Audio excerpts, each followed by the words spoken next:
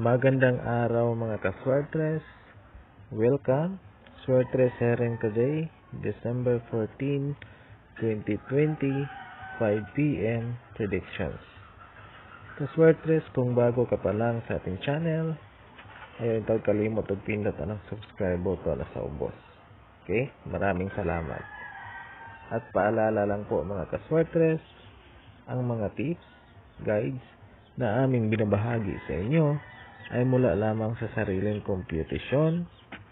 Ito ay walang kasiguraduhan, mga prediction lamang po para sa larong 3D Lotto. At para sa ating mga guides ngayong December 14, 2020, 5 p.m. draw predictions 0, 6, 8. Posible po na may 0, 6, or 8 ngayong 5 p.m. draw. Pero nasa inyo na po yan mga kaswertres kung ito po ay inyong susundin. Tanging mga predictions lamang po ito. Mga single number predictions lamang para sa larong 3D Lotto. Okay? Maraming salamat mga kaswertres sa patuloy po ninyong pagsusubaybay. Good luck po sa ating lahat ngayong araw. At Merry Christmas. God bless.